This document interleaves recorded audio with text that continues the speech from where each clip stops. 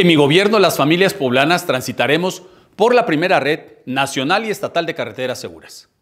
Hoy las carreteras en nuestro estado tienen dueño, son los delincuentes.